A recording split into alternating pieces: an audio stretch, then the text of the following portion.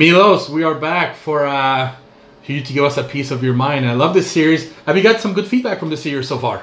I got a lot of feedback and I got- a lot of questions on my Instagram. I say, when are you going to talk about this? When are you going to talk about that? Nice. So I think uh, Video Agreement and Jay's, I will start my like educational series Awesome. and uh, actually tell all the guys that they want to hear it, you know, at once, so I don't have to repeat it a million times. I mean, Right. You guys, uh, I want to help, but it's impossible to answer every, everybody's question. So watch Yeah. the episodes. Yeah, so watch the episodes. So absolutely, that's what I told them. Jay Cutler TV, uh, Milos Frame of Mind. Right. So I'm going to start with the most basic thing that everybody should know, and it is about caloric requirement. When we uh, do the diet, pre-contest diet, off-season diet, doesn't matter what it is, we need to know what we're doing. You can't just guess. So all of you guys, beginners, advanced, guys that were following wrong diet and uh, shut your metabolism down and gain a lot of weight, and guys that are preparing for the show, there are certain rules you have to follow here. Uh, first, you, you start with the physiolo- physiological needs of body. Okay, everybody doesn't matter who we're talking about. We have a, uh, what our heart needs, how much energy to you know beat, and lungs to breathe, and you know brain to to function. Survive. Yeah. Yeah, survival. This is uh, physiological needs. All the organs require a lot. So there is uh, something called uh, basal metabolic rate, BMR, and it's determined by your height, weight, age, and gender. Uh, medically, most common used formula, quite accurate, is Harris-Benedict formula. And it pretty much, this is uh, what they use in the hospitals when they, they take you there in your critical condition. They need to feed you and they need to, they need to uh, put enough calories to maintain your life. So this is how I start with everybody. First, give me your height, weight, age, gender. And you can go on a BMR calculator on the, on the uh, internet, you know, put all your, uh, you know, things and you're gonna come up with your basal metabolic rate. That means that you in a state of coma, right? If you be in a hospital not moving, not blinking really, this is how much calories your body is going to use, you know, just to maintain life. So I always start that uh, this would be a base. So now when you go to sleep, that resting metabolic rate is quite close, but it's a little bit higher. But I would consider that this is your BMR as you're sleeping. So for somebody, a big, bigger guy, that maybe we have a BMR of uh, 2,400 calories a day, that would be easily calculated as 100 calories per hour. So when you sleep, uh, every hour, how many hours you sleep, six, seven, eight hours, you know, consider this is 100 calories an hour that your body needs to use to maintain life. Now, as soon as you wake up, your metabolism picks up. And even if you're completely inactive, it's about 30, 35% higher. So now you're at complete rest, doing computer work or whatever else you're doing, you know, not physically active, really, you're burning 130, 140 calories, right? And now, as you know, anything that you do physically will start burning more calories. So if you go on the internet and pull like one hour of house cleaning and uh, you know ironing or whatever else, it's like four five hundred calories an hour, right? It's uh, amazing what physical activity can uh, do. So now uh, for our bodybuilders, fitness competitors, figure competitors, bikini doesn't matter, right? If you're gonna wake up in the morning, which most of us do, and do that mandatory fasted uh, state cardio, you're gonna start using a fuel that uh, aerobic activity is using, which is fatty acid, right? So fats. When you do the cardio, you burn fats. As you're sleeping for six, seven, eight hours, right, and you wake up in the morning, you have a perfect opportunity to burn some body fat, and I call that fat burning phase of the day. This day, you wake up, you don't do nothing, not even BCAAs, EAAs, gluten, and nothing. You cannot take any nutrients because amino acids are fuel. It can be converted into the fuel. So in completely empty stomach, you do the cardio, you're gonna have one billion percent for sure burn some body fat. Now you go for the remainder of the day. So now I have a, uh, two more phases, maintenance phase and anabolic phase. As I talk about uh, in my last uh, frame of mind for Jay Cutler, uh, my hyperemia advantage theory, you know, so my training is my anabolic phase. This is when I try to push everything in the muscle. But after cardio, until the training, I'm going to have a, that maintenance phase in every two and a half, three hours, doesn't matter how you structure your diet. You're going to put enough calories to maintain, not to gain, not to lose. Right? Uh, at that particular uh, times, you can choose, you know, three different things you can have uh, all three macronutrients, protein, carbohydrates, and fat. For a lucky, fast uh, uh, metabolism type of guys, ectomorphic, they can eat anything. You can, you know, mix just good nutrients, protein, carbs, and fat. For uh, uh, endomorphic, a little bit more fat, they have a slower metabolism. More than likely, I would tell them don't even touch the carbs. You know, keep the protein and fats. As uh, long as you don't touch the carbohydrates, right? You're not gonna you know, triggered insulin release. Insulin stops fat burning, so inhibits fat burning. So I would much rather you have a good source of protein and good fats until you're ready to train. And uh, for uh, bodybuilder guys, especially that uh, we are going into this mass building phase, you know, I don't mind them having uh, protein and carbs by all means.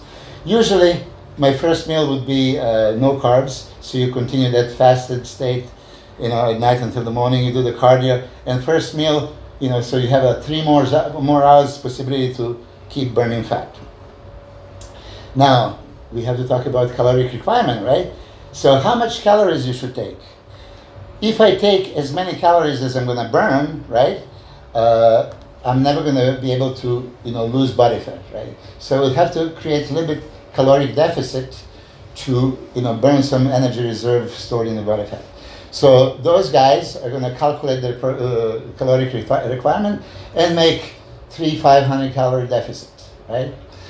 Uh, in extreme situation, I would go even thousand.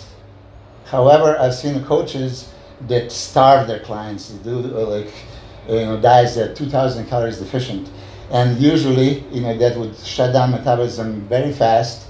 They would sacrifice some hard-earned muscle mass and then they would have a you know hard time picking it up later. So much rather take 16, 18, 20 weeks out of the show and slowly die down. You know, inspect what you expect.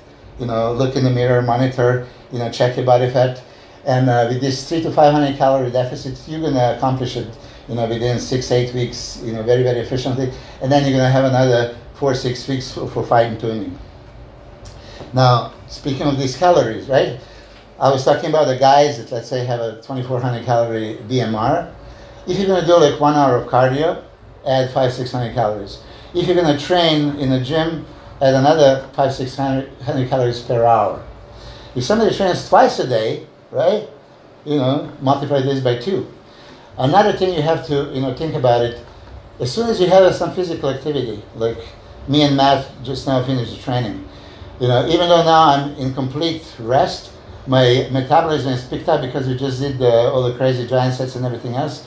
Or same with the cardio. As soon as you finish cardio and you stop, now you're not longer uh, walking on a treadmill or something, but your metabolism is way more than your BMR type of uh, uh, metabolism, right? So uh, when you add uh, 500 uh, for cardio, 1000 for training, that's already 1500 plus your 2400 now you're already close to 4,000, right? And that elevation of metabolism after cardio, after first, after second session, you're probably close to 5,000 calories. And that's why for some of you that uh, are kind of how come bodybuilders can eat five, 6,000 calories and don't even do the cardio and be lean, right? Well, because you have like such a high uh, caloric expenditure. Now, speaking of macronutrients, right? How do we structure the diet? We know that uh, there are energy nutrients, carbohydrates and fat, and there are uh, building nutrients, proteins. Okay, amino acids is the building blocks of protein, are only building material for your body. There is no way that carbohydrates and fat, you know, can be used as a building material. But protein can be very easily converted as energy. So first thing that I do with everybody, I tell them extremely high protein intake, which a lot of doctors would complain. And to all those doctors that uh, would complain, I would challenge them to put any study that a healthy individual with a healthy renal system, kidneys, right, would have an issue with what would be a toxic amount of protein. I, for example, uh, did uh, 500 to 550 grams of protein daily for 15 years straight. Okay, I have some bodybuilders that I train that would do 600 and over. I have some ladies doing three to 400 daily, which is oh you don't need it. Well, uh, do you need it or not? That's uh, questionable. If I follow the science and just what I'm told, you know, I get certain results. Then I said, let me be free-minded and increase the protein, double up or triple it, and then see what happens. And boom, results are astonishing. I actually have a few uh, competitors that even went higher than I recommended, and they even further increase their muscle mass. So uh, my protein suggestion is minimum for any human being on earth is one gram per pound of body weight. One gram. Bodybuilders, two grams. Okay? Competitors, you can go easily two and a half, three grams of protein per uh, in a pound of body weight. So this is you know first thing. Now with that, for that maintenance phase, you have to calculate what would be your maintenance phase. You can add amount of carbs to add up, you know, to the amount of calories you need for three hours, or fat for amount of calories that you, you need for these three hours, or combination of. So now, as you have a fat burning phase, you maintain it, and you came to the uh, anabolic phase when you train, as a you know touched the subject last time. You prepare the body, you saturate the blood, you put all the you know anabolic, anti-catabolic, fat burning nutrients supplements, right? You're gonna saturate the blood, and that blood is gonna now go to the muscle, and you're gonna be shoving everything into the muscle. Right after the training, there is again that huge window of opportunity, the first couple of hours, or by uh, by science, next six hours. Physiological preference of your body is to continue, you know, replenishing what uh, was just done which means you, you break down the muscle tissue, you empty your glycogen storage, ATP storage, and everything else. So, you know, body uh, always reacts upon what you do throughout the day, right? So if your muscles are affected, you know, damaged, and need replenishment, all these nutrients are going to be going now towards uh, replenishing, and this is that anabolic window. This is my anabolic phase. So if you do this correctly, right, you have a fat burning phase, maintenance phase and then anabolic phase. Some days you're going to choose, I'm not going to do the cardio, I'm lazy, that doesn't matter. Okay, that day, maybe you didn't do that uh, fat burning phase, you have to reduce your caloric intake by 500 calories. You know, sleep longer, no problem. But continue with the maintenance phase as soon as you wake up, next meal, next meal, next meal. So my diet is not really a 24 hour diet, it's like every three hour diet. This is what I did since 1991 and I competed extensively throughout the 1990s, and my diet would, you know, just be based on this. Okay, I'm going to do more cardio. I'm going to, you know, train twice a day. This is the only thing that I adjust. When I see, uh, for myself or for my athletes, in a uh, anabolic phase now, in a let's say off season, which I never consider off season, but okay, in a mass building period, you know, I'm uh, inclined to give them a little bit more calories but at that time, I choose, you know, to avoid fats, and I do carbohydrates and, and protein, because we can push carbohydrates into the glycogen storage, and I would bet my life that uh, science uh, is not right when they consider this human body can store maximum 750 grams of glycogen. You know, uh, guys that train, they have a, com- a complete uh, glycogen depletion several times your body always adjusts by you know super compensating. You can now store more and more. So the uh, guys like Jay Cutler, for example, they was eating over a thousand uh, grams of carbs a day, right? Myself included, Dennis Wolf, and, and many other. You know, you do this constantly, right? Uh, you experiment, and I think I mentioned for uh, Dennis Wolf for Olympia, for carb loading, we use 5,000 grams of carbs in three days. Now, if you consider that uh, you know glycogen storage is 750, you know he should have been filled up after 750 or 1000. You know, deduct you know calories throughout the day that he would burn, but usually when you're competing in these last three days, you are resting, you're not doing anything, so the caloric expenditure will be much you know, less. So I'm saying that um, bodybuilders have a you know dramatically higher glycogen storage of any other athletes because of what we do. So to generalize again for all the people that are listening, you know, and if they have any questions, you know, you can you know, put it on TV on there or uh, you know send me an Instagram like last time. This is how you start, and you can start if you're a personal trainer. You know, make sure that your client would give you you know their height, weight, age, gender. You calculate uh, the BMR. Okay, then you ask them what they do. If they have a physical work, right? they need more calories.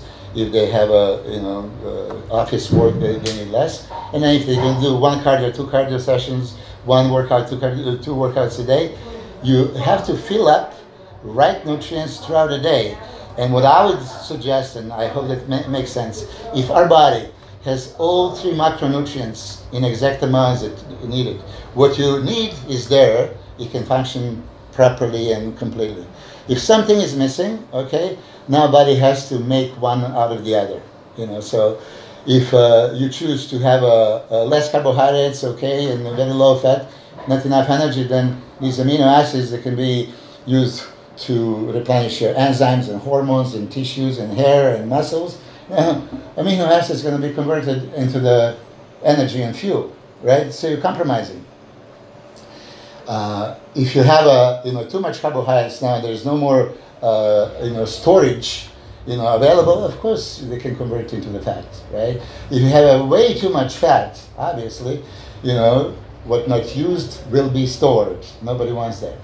But if you really calculate, so you're not guessing, you know, and this is how I always start. Even though there are little bit differences, yeah, genetically, you know, somebody says I'm you know, uh, super fast metabolism. You know, your heart and my heart is going to, you know, uh, use about the same amount of calories. Liver, you know, the other organs, you know, pretty much the same, uh, except if you're not really overloaded with something else. But those are minuscule differences. What is real difference in caloric uh, uh, requirement is energy expenditure. What do you do physically?